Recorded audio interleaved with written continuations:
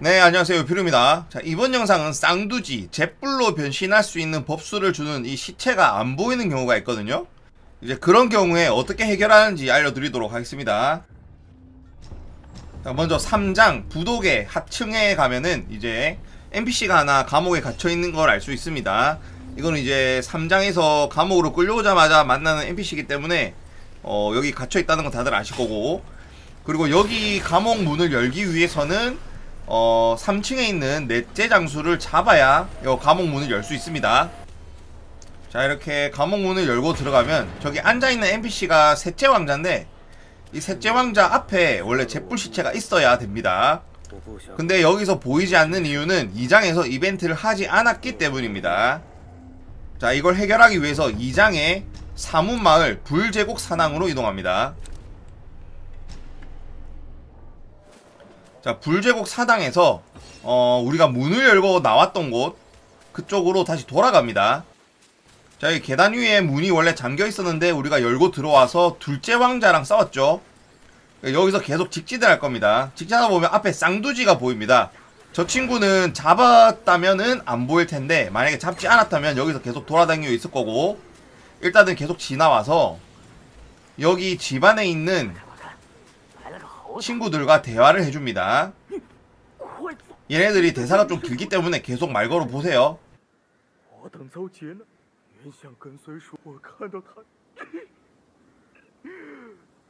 어, 어, 어.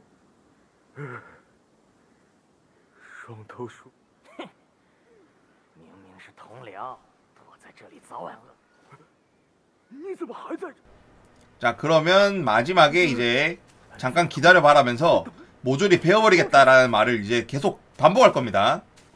자, 이 대사가 나온 다음에 이제 쌍두지를 잡으면 됩니다. 쌍두지를 미리 잡고 가도 상관은 없어요. 근데 이제 저 친구들이 요 쌍두지를 무서워하기 때문에 이제 요런 이벤트가 있다는 걸 좀 알려드리려고 이제 요렇게 쌍두지를 잡고 난 다음에 다시 가게 되면 또 대사가 바뀝니다.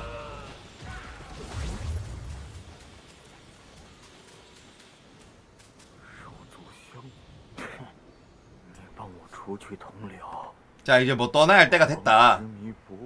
그 다음에 이제 셋째 왕자가 뭐 서쪽에 어디 있더라 뭐 이런 식으로 이제 대사가 나올 거예요. 뭐, 뭐, 뭐, 자 그리고 계속 반복되는 말을 할 때까지 말 걸어주고 자 이제 부도기로 다시 돌아가면 됩니다. 자 다시 셋째 왕자가 있는 대로 돌아오면 시체가 이제 여기 와 있게 됩니다.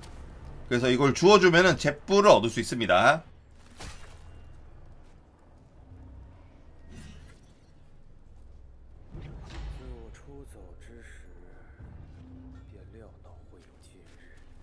이제 잿불로 변신하게 되면은 쌍두지로 변신하면서 이제 불 데미지가 들어가는 요 평타 공격 그 다음에 게이지 쌓은 다음에 불뿜기 그리고 자폭하기까지 이 자폭하기가 맞추기가 쉬워서 제가 1회차 때 자주 썼던 변신이긴 해요.